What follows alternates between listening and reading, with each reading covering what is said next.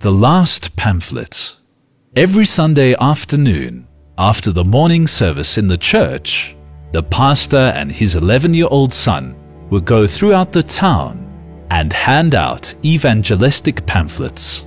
One Sunday afternoon, when it came time for the pastor and his son to go to the streets with their pamphlets, it was very cold outside and it was raining a lot. The boy dressed up in warm clothes and said, Okay, Dad, I'm ready. And his father said, Ready for what? Dad, it's time to gather our pamphlets and go out. His father replied, "Uh, Son, it's very cold outside. It's pouring down heavily. The boy looked surprised and asked, But, Dad, will people not go to hell even on rainy days? His father replied, Son, I am not going out when it's this cold. Sadly, the boy asked, Dad, can I go? Please, let me.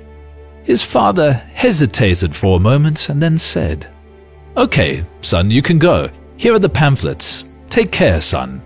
Thanks, Dad. Then he went out into the rain.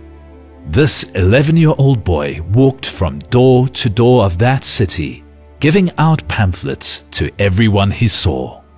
After walking for two hours in the rain, he was soaking wet, but had one last pamphlet left.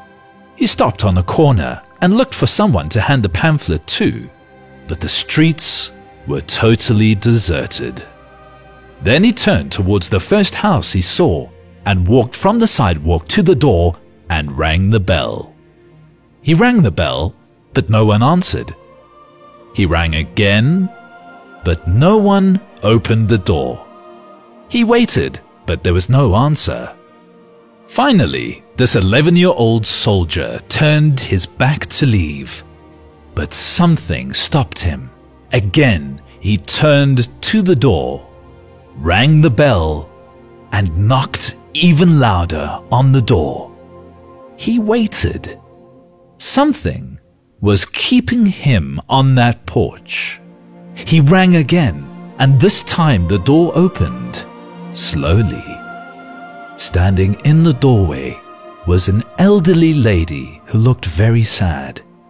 She asked kindly, What can I do for you, my son?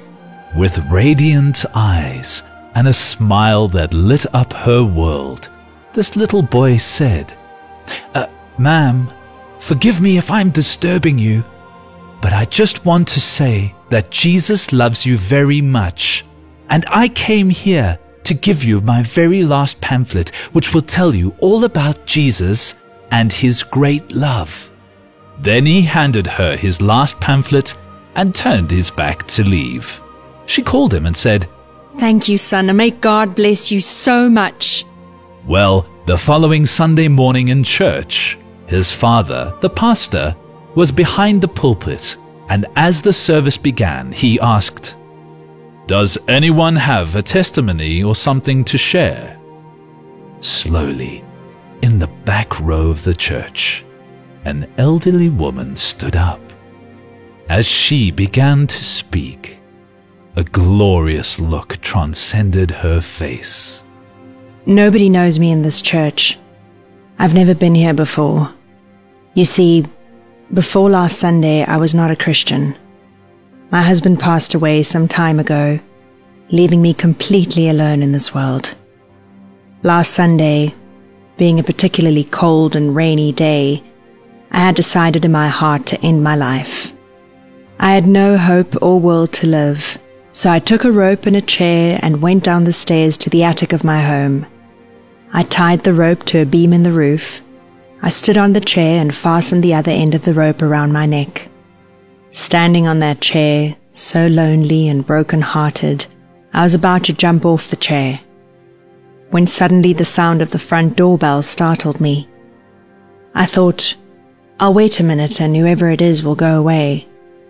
I waited and waited, but the bell was persistent and seemed to sound louder and louder. Then whoever was ringing the bell also started knocking on the door very loudly. So I thought, who in this world can it be? For a long time, nobody has ever rung my bell or come to see me. So I loosened the rope from my neck and I went to the door, while the bell rang louder and louder.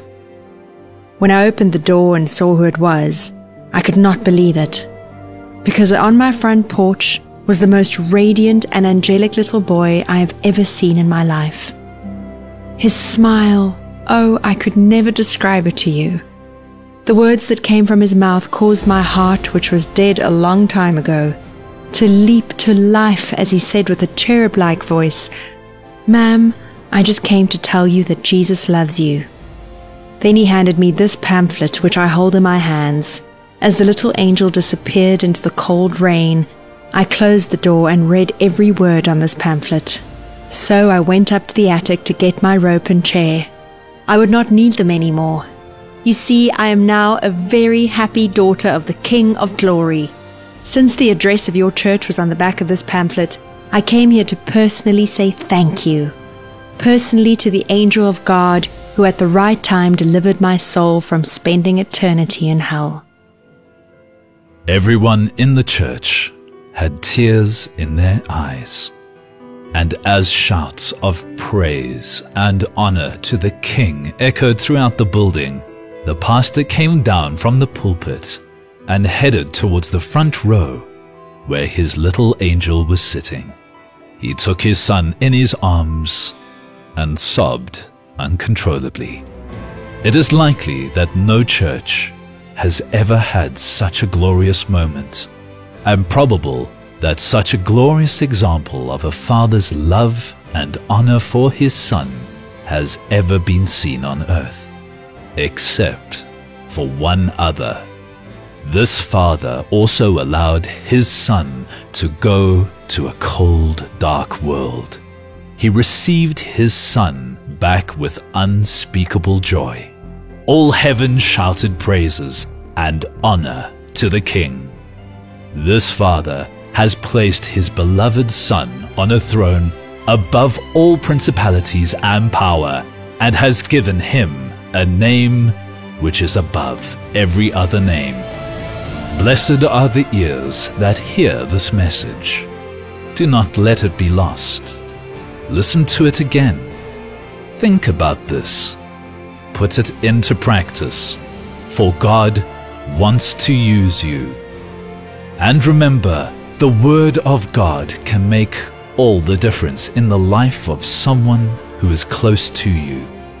Do not fear or be ashamed to share this beautiful message.